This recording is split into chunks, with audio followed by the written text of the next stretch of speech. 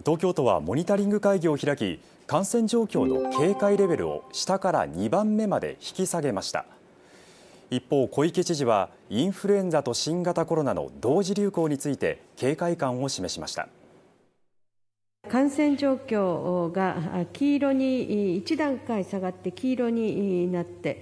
おります。そして先生方からのポイントでございますが、感染状況は改善傾向にあるが、引き続きその動向を注視する必要がある。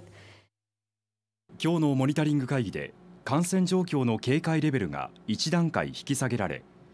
これでおよそ4ヶ月ぶりに感染状況と医療提供体制が下から2番目となりました。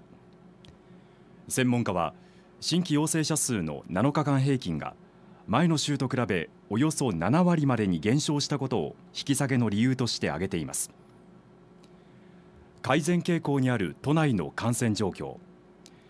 ただその一方で会議後に小池知事は新型コロナとインフルエンザの同時流行へ警戒感を示しました。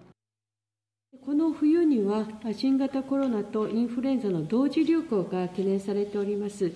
都におきましては、同時流行によって発熱患者が第7波を超える場合も、もうすでに想定をいたしておりまして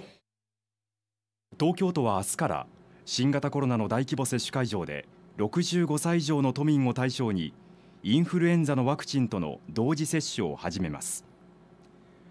会場は立川と行幸地下で毎週木曜と金曜に接種を受けることができます。